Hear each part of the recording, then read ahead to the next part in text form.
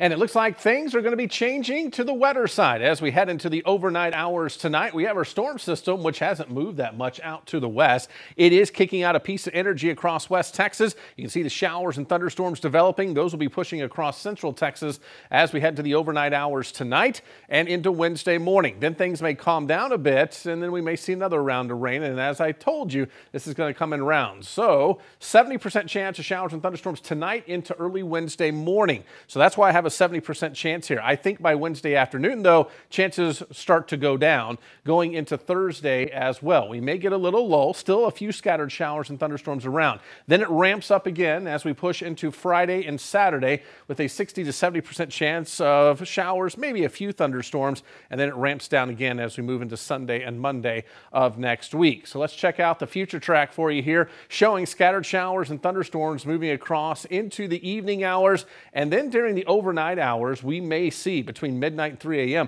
pretty good complex of thunderstorms roll across the area. This model could be a little late on this. It may happen a little bit earlier, so we'll continue to track that. But again, at least a chance for scattered showers and storms, especially across the southern half of central Texas. Things start to quiet down a bit by 7 o'clock Wednesday morning.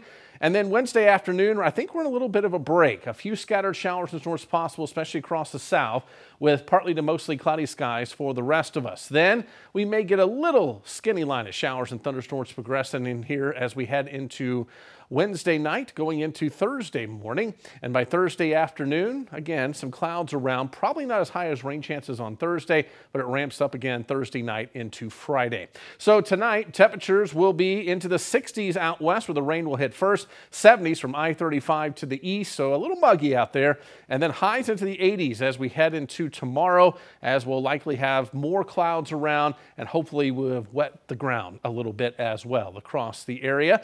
And as we take a look at your forecast, remember your chance of rain Wednesday will be mainly in the morning hours, drying out some in the afternoon. 87 for a high, 88 on Thursday, 40% chance of scattered showers and storms, up to 70% Friday, 60% Saturday. I think those are wetter days. And look at that, highs in the upper 70s with lows at night into the upper 60s. So feeling a little more fall-like there. Looks like we start to clear out a bit on Sunday, 87 for a high. And then next week looks drier with temperatures primarily in the 80s.